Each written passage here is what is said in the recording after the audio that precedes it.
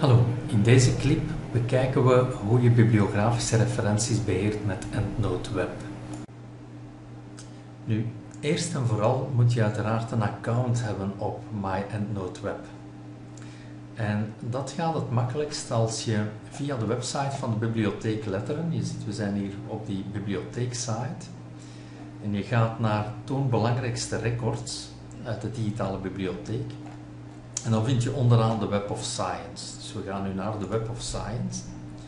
Het is namelijk via de Web of Science dat we een licentie op EndNote Web hebben genomen. Hm.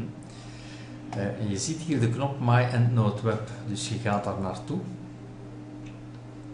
En dan zie je hier dat je uh, je kan inloggen of dat je een, uh, je kan registreren voor My EndNote Web.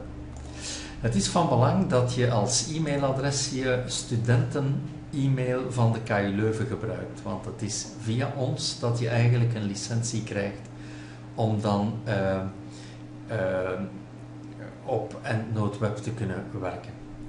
Eenmaal dat je die registratie gedaan hebt, dan kan je uh, op de My EndNoteWeb site inloggen.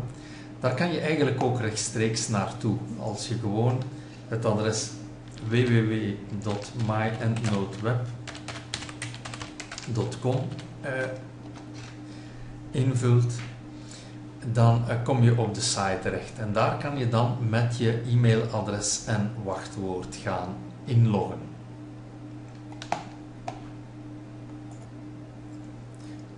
We zijn nu ingelogd bij MyEndNoteWeb en uh, ik maak gebruik van de gelegenheid om de belangrijkste aspecten te laten zien. Natuurlijk hier in de veronderstelling dat je reeds referenties hebt ingebracht. Dat uh, tonen we later. Dus ten eerste heb je uh, een sectie My References, waar uiteindelijk de referenties die je opzij gezet hebt vanuit de digitale bibliotheek uh, komen. Die worden opgenomen met een verwijzing naar het bronrecord dat je gevonden had via de Library Links knop kan je gewoon terug in de digitale bibliotheek het originele artikel gaan vinden uh, bij de provider, zoals hier EBSCO bijvoorbeeld, die uh, het toegeleverd heeft. Maar je hebt alleszins de volledige uh, referentie naar het werk.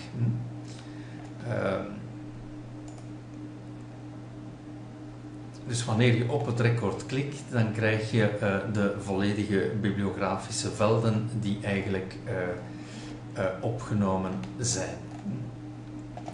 je zal ook zien dat je lijst met je referenties, dat je die kan opdelen in groepen.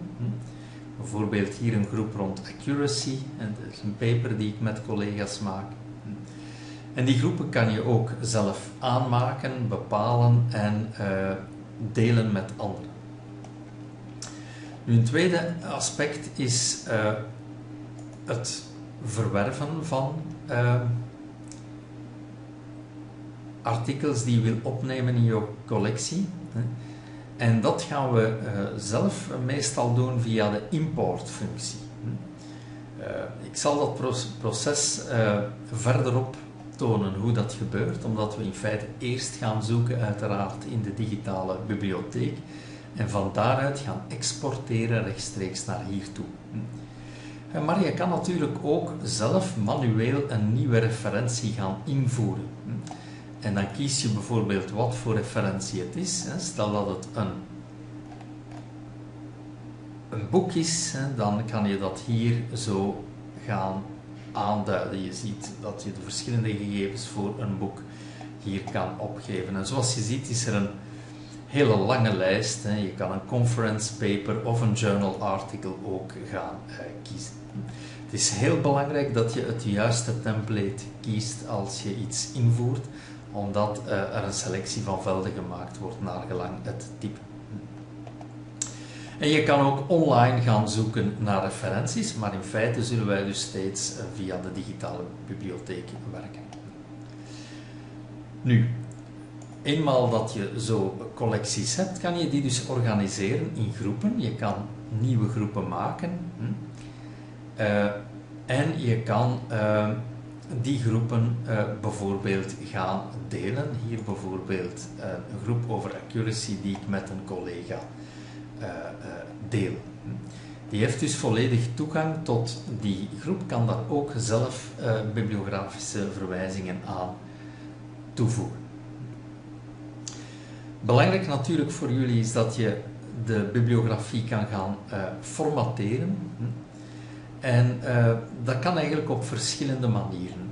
Wil je een eenvoudige bibliografie gaan exporteren die je bijvoorbeeld in uh, Word kan plakken, dan selecteer je je referenties, bijvoorbeeld hier de collectie Accuracy. Je selecteert het bibliografisch formaat en ik neem hier Chicago. Uh, dus ik ga de Chicago-stijl nemen, 16b. Uh, en dan kan ik bepalen of ik het meteen in een document wil steken, een, een, een tekstdocument, dus bijvoorbeeld een rich tekstformat. Dat is iets wat ik in een tekstverwerker meteen kan openen. En dan kan ik het bewaren of naar mezelf e-mailen, of ik kan het meteen previewen en printen. Je krijgt dan uh, dit pop-up scherm. Je moet natuurlijk pop-ups toelaten. Ehm, en dan krijg je dit pop-up scherm van waaruit je de bibliografie kan kopiëren en eventueel plakken in Word. Uh, dat is één manier van werken. Een andere manier van werken is uiteraard wanneer je rechtstreeks gaat in Word een citaat zoeken in je database en daarvoor heb je de Cite While You Write plugin nodig. En die vind je hier uh, bij Format ook zo. Hm. Dus ik klik op Cite While You Write plugin. En uh, je ziet dat je die voor Windows of Mac kan gaan downloaden op je PC. Uh, die moet je dan installeren. Hè. je moet daar wel administratierechten voor toekennen op je PC hè, tijdens de installatie. En dan gaat hij die plugin in Word toevoegen. En we tonen zo dadelijk hoe dat dan in Word in zijn werk gaat. We zijn nu in een paper in Word en je gaat zien dat we hier eigenlijk de EndNote Web uh, plugin hebben uh, staan. Dus als die installatie van die Site While You Write plugin gelukt is, ga je hier die EndNote Web tab zien staan.